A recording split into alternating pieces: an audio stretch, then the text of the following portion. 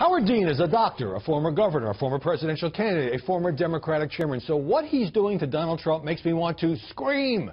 The MSNBC contributor tweeted this during the debate. Notice Trump sniffing all the time, coke user, and he would not back off. Why did you go there?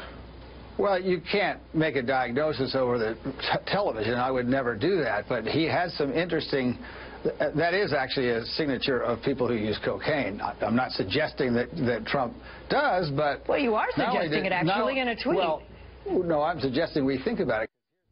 Now, it's a ludicrous smear to suggest that this 70-year-old man who doesn't even drink alcohol might be doing blow. And Joe Scarborough, to his credit, asked his MSNBC colleague to apologize. Dean finally said he was sorry on Friday, days later.